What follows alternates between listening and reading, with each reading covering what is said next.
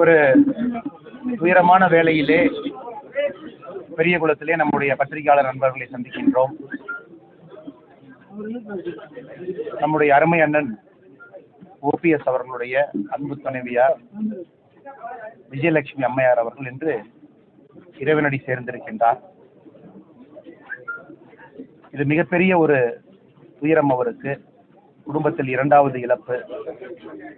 நிச்சயமாக இந்த மீளா துயரத்திலிருந்து அண்ணன் ஓபிஎஸ் அவர்கள் மீண்டு வருவார். ஆண்டவனவருக்கு துணை நிற்பார் என்கின்ற நம்பிக்கை எங்களுக்கு இருக்கிறது. நாங்களும் எங்களுடைய வேண்டுதலை வைக்கின்றோம். தமிழக பாரதிய ஜனதா கட்சி தன்னுடைய ஆழ்ந்த இரங்கல்களை தெரியப்படுத்துகிறது. அண்ணனுடைய இல்லத்திற்கு ஒரு மாதம் முன்பு செல்ல சென்ற பொழுது அக்கா அவர்கள் அன்பாக உபசரித்து மாடியின் மேலே இருந்தார். எங்களை பார்ப்பதற்காக கீழே இறங்கி வந்தார். அப்பொழுது மூட்டு வழிக்காக சிகிச்சையும் கூட எடுத்துக் கொண்டிருந்தார்.